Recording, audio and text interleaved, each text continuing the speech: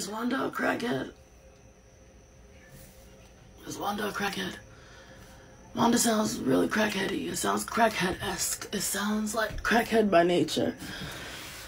Every time somebody tells me I look like somebody, it's a fucking crackhead. I really hope, I really hope, like, I really hope Wanda's not a crackhead. I never watched Snowfall, so. Here's the hoping Wanda's not a crackhead.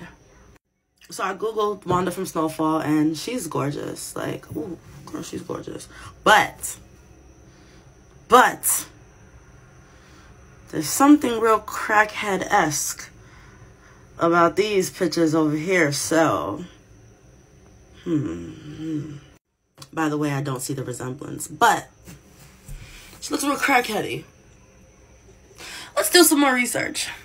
So follow me here. It's hard to fathom why Wanda would save Leon from gunfire while watching the FX drama Snowfall Wednesdays 10. After all, he is indirectly responsible for her addiction to crack. What did I do to you, fam? What what did I do?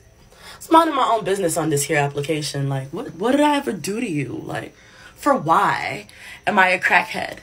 For why? For why, friend? For why? Nah, she a bad mama jamma though. Look at that mouth. That's a bad mama jamma right there.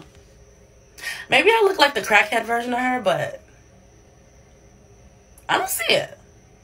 I don't. Yeah, I don't see it. She is gorgeous though. Serve, honey, serve. Let me let me get up off this screen here. Let you do your thing. Move out your way, baby.